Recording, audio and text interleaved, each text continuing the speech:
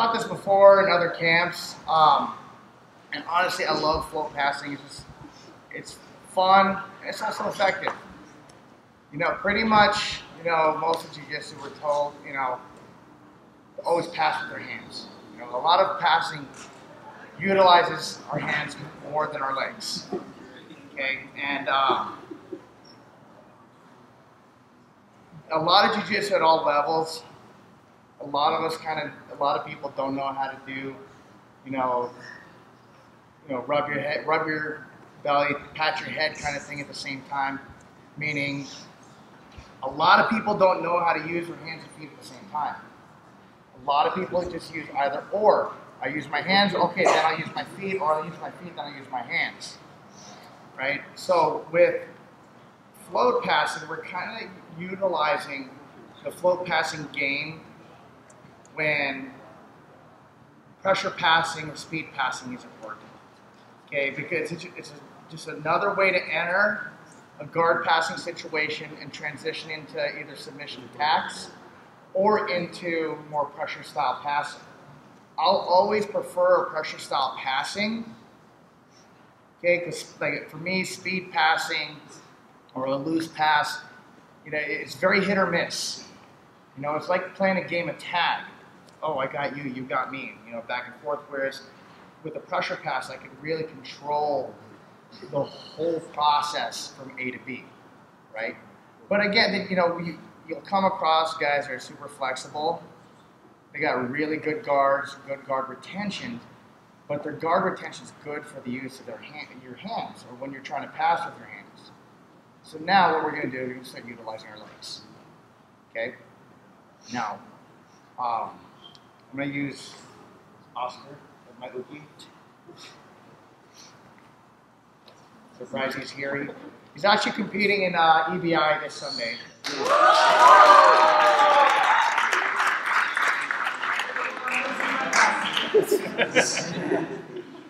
so, um, so when we're playing, so ideally, when when I'm trying to pass, it's always going to be infinitely more easier for me to pass against someone that's on their back. If they're sitting up, it's going to be a lot more difficult to pass. They can, they can move more, right? Now, what I'm going to end up doing is I'm going to force a very specific guard. Okay, a specific guard for me being that I, can, I know I can pass it. Okay? And it's typically reverse De La Riva or half guard. If I could force half guard, I'm, I know I'm going to pass, right? So it's going to also kind of lead into my class tomorrow morning because they're both going to start from reverse De or slash half guard. So I need to get him on the I need to get him on the floor. So I could either come in, step in, and push him on his back, or I could just pick his legs up and force a reverse La here. Okay. So now what I need to do now because being that I have his legs pointed in this direction, it's going to be very difficult for me to fully pass to my left without having to worry about fighting his his uh, weapons, and his weapons being his arms and legs. So I need to transition this into a headquarters position here, okay? Where my knees, if you notice, they're kind of doing this inward tilt like a, I got to pee, okay? So I call this the pee-pee stance, right? I don't know, if the girls do this? No? Just guys? All right, so guys, y'all get this, right? Okay. So from here, now that I have, I went to headquarters, okay, I come in, I redirect his knees in that direction. So I'm opening up this side for me to pass, right? So what I'm gonna end up doing is, I'm gonna staple this leg down. My right hand's gonna open up this arm, okay? My left foot is gonna hook, and I want an outward pressure with my, my foot here okay? Because all I'm going to do is extend and slide it out. And it's easy past the mount, okay? Now, for me, I hate mount because I can't hold it very well. So what I'm going to do instead is I'm going to transition to knee on belly instead. Okay? So let's go this way. So I got him on the back here. I force reverse De La Riva. Okay? I want to transition to the headquarters position here. And again, my knees are squeezing. Okay? Because I want to be able to control his leg. So if he starts opening his leg to the left, his right, here, I can easily just shift and squeeze my knees together. Okay? I catch his wrist, I pin it, and I'm tilting my right knee towards the floor to staple his leg to the floor. I hook, okay? I kick out, okay? So the direction I'm kicking, I'm taking his ankle and doing this and straightening it out, okay? Not just going straight, I want outward pressure. On the ankle, I want that knee tilt and kick, okay? So when I'm here, okay, boom, kick, transition to knee on belly. Make sense? Pretty simple? Okay? We'll start with that, and then we'll complicate things a little more. Anybody need to see it again? Yeah? Yeah. Uh, when you're when you're posting this this concept, Yeah. are you like is your base migrating towards that corner? Yes. Or are you staying more? No, no, no. It's migrating towards the corner because I need my weight on my hands. Because if I if I shift, if I keep my weight too far back, I'm gonna have a difficult time switching my hips and trying to float. Okay, so my weight has to be on my hands. So when I, again, when I, so when I'm here, see I'm leaning forward. I'm here, boom, kick, slide.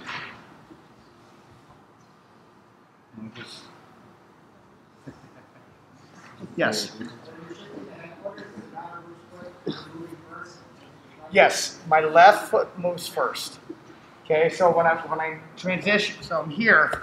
When I transition uh, to headquarters, I always bring my left leg towards my right, and then my right leg extends out, pinch, staple, tilt, kick, knee on belly. Yeah? Let's go play. One, two, three. Okay, so again, when I when I'm here, when I force the reverse De La Riva, okay, I'm stepping my right foot towards the back of that knee. Okay, I have to anticipate that he's going to get the reverse De La Riva, because if he doesn't, he's going to give me the knee cut. Because all if he doesn't catch the reverse De La Riva here, I'm just going to pass and go right in the knee cut. Okay, so if he doesn't, if I step here, and if he doesn't, I'm going to slide his foot in there for me. Okay, so I'm just here, come in, and then go right knee, knee on belly. Okay, so my hand, I'm trying to caress the leg. Okay, I'm groping them. They're hairy, but they're nice. He's got, he's got a lot of cocoa butter or oil or something. They're really nice. Okay, so again, I'm here, force, boom.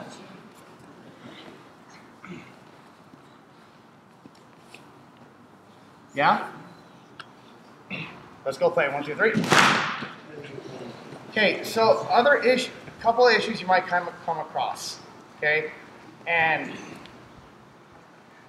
and it's typically with the hook, actually getting the hook on the foot.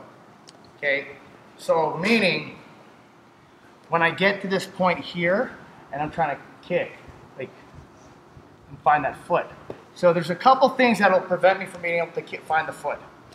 One, you're not, you're, you're, you're kind of doing like a leg curl versus trying to kick yourself in the butt.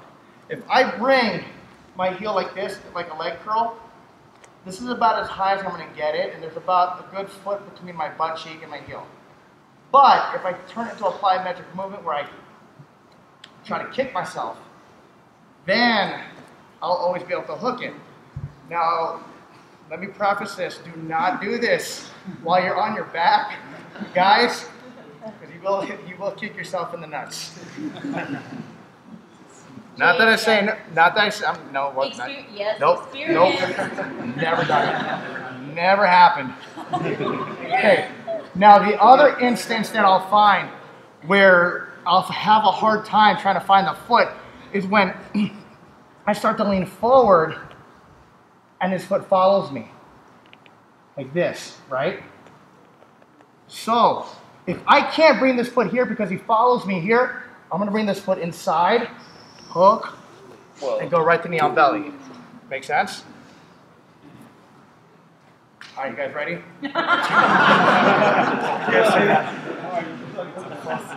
okay, so again, so I get him on his back. Boom. Knee, I get, I force the, the reverse De La Riva. Shuffle in right into revert, uh, the headquarters. Boom. I try to kick here, but he follows. I'm sorry. Okay, so as he follows here, follow. This foot comes in. Knee on belly. Yeah. So um, boom.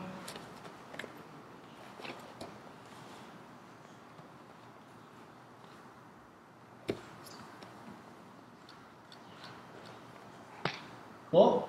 Question. Ready? Question. No. You can ask me later. What's up? You prefer your left hand on the shoulder because I was putting it on the mat and now. I'm- Honestly, put it where you can. There's no right or wrong answer. It's where you put that. Okay, you can put it on his shoulder. Like sometimes when I'm here, I'll grab this other wrist too, or I'll come here, or I'll come here. It just depends where it lands. Okay, then I try to bring it in. Make sense? Let's go play. One, two, three.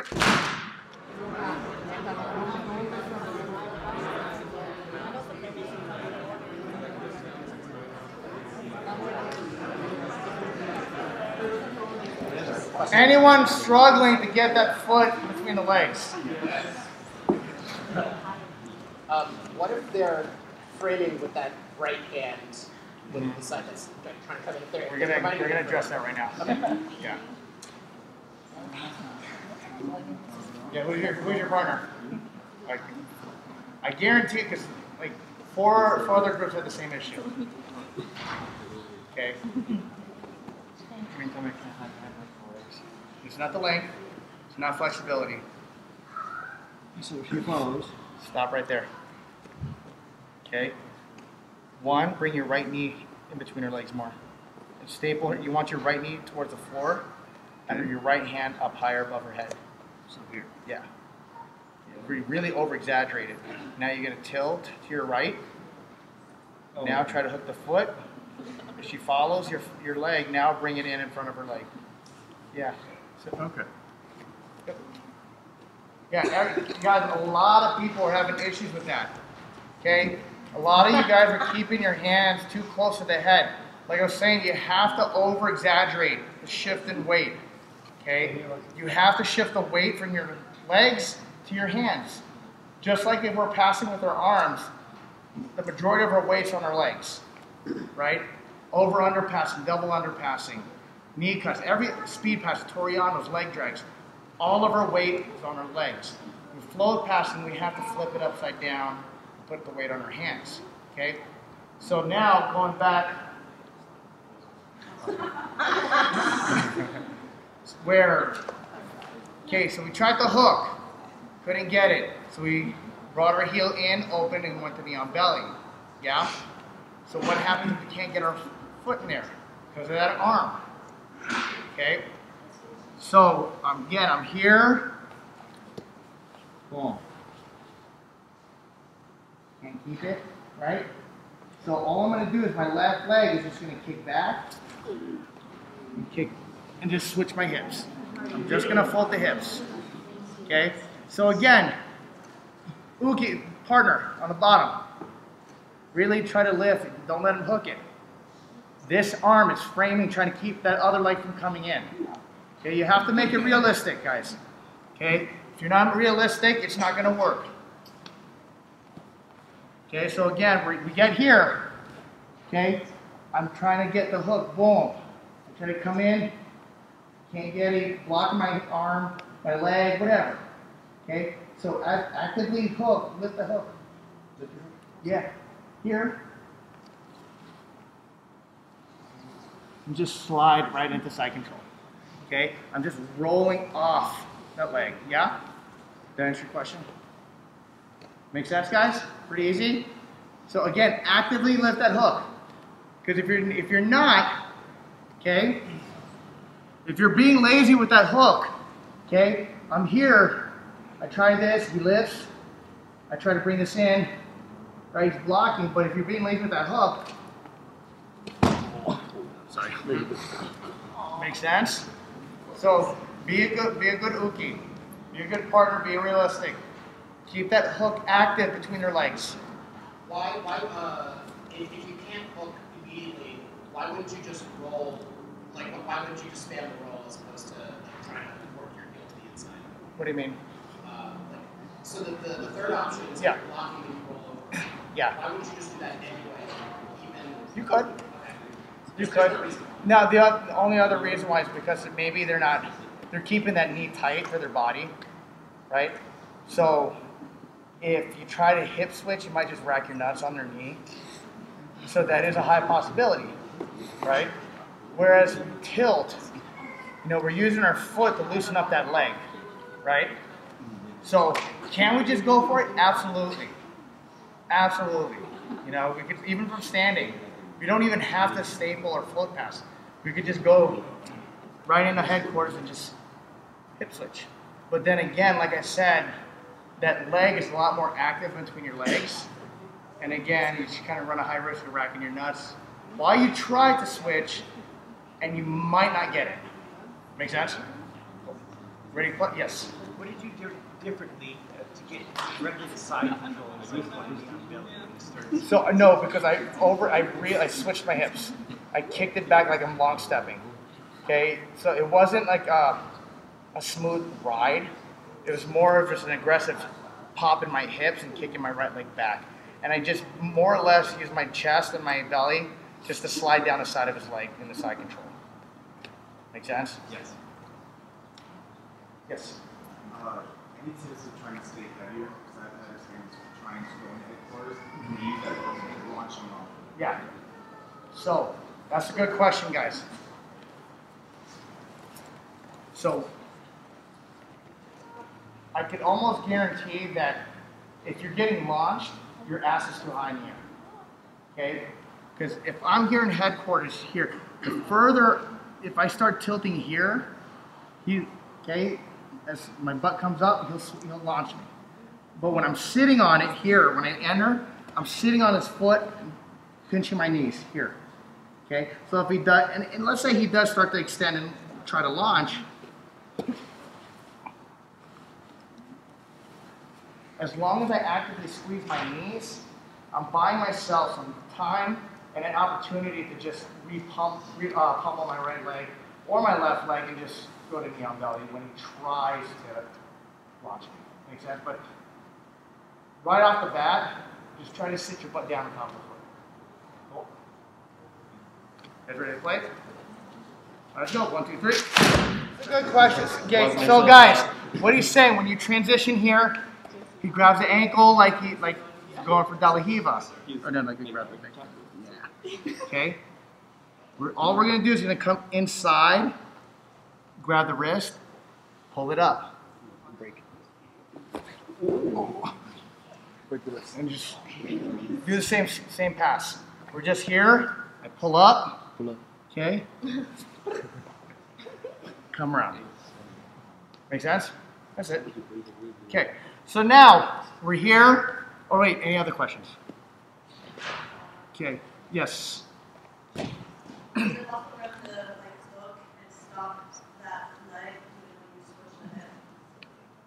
At what point? Um, I think she's talking about because you know how you smashed us down so we couldn't. If they just switch their hips, you're gonna fall. They can follow with that leg. if you do it slow, and if you don't rotate your body on the hip, then yeah, that's it's potential. But the thing of it is, what's happening is when, as I switch my hips, my hip is staying right here. My left leg goes under this leg here. Well, so basically, what's happening is my body's pushing the knee that way. So the only direction his leg will be able to extend is parallel to the floor. Now, if I try to rotate and I land over here, and there's and I'm doing nothing to keep his leg from pointing up, then yeah, he could easily catch my leg with a long step. Make sense? Yeah. Okay, so again, so we're here again. Okay, force the dele, reverse De La I come in. Boom, got the pee-pee dance. I catch. Can't catch the foot. Can't catch that. Motherfucker. Just slide, knee, just knee cut to side control. And then you can take the hand and just start slapping them with it. Okay. Yep. Nope. So basically, I just did a knee cut over this thigh. So we have different options, okay? So one, okay, try to hook the foot, try to bring it in, okay? I could hip switch, but because he's actively hooking, look, I'm gonna bring my right knee, push his leg down, I get the underhook, and I slide.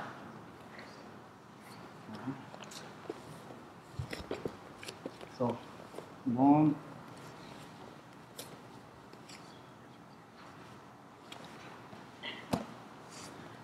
Turn.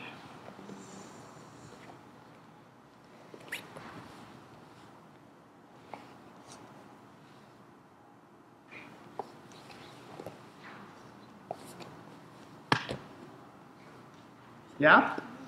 Ready to play? One, two, three. Nice. So anyway, a good quick tip, like if you want to get good at float passing and a good drill, a good tool to have at home to practice is get a somewhat deflated physio ball and try to sit on it. Try to put your knees on it, stand on it, knee on belly on it, and just play. Okay? Because the, the, the physio ball, the movement of the physio ball is just about as random as a, a person on the bottom and their movement. Okay? You don't know which direction they're going to roll, turn, twist, or flip. Just like you don't know which really direction a ball's going to go. I mean, you could control it to a degree, but sometimes you can't. But um, but yeah, if you guys have you know have any more any questions, uh, you know, we only have like what two more days of the camp. You know, let me know. Um, tomorrow morning's class is again going to be um, same thing, upper reverse De slash half guard. You can apply the same mechanics, and it's going to be no gi again, but it's going to be on body lock passing. Okay, so today we were doing like loose speed passing with a little bit of pressure. Tomorrow we'll be doing more pressure passing. Okay, um, but got yes. Um, I know this is no gi session, but Yeah. like, does this change at all for the gi, or is Nope. it still the same? Still the same. Yep. The only difference you really have to um, uh, really consider is if they actually grab your gi pin instead of just posting. Make sense? Then I have to then I have to address that grip, pull it, break it, and then mechanics are completely the same. Your approach is completely the same, but again, all you have to do is deal with the grips. Cool. Awesome, guys. Well, thanks for hanging out. It was a lot late last class for the evening. I know you guys wanted an open mat, so um, let's go ahead and uh, do a group picture.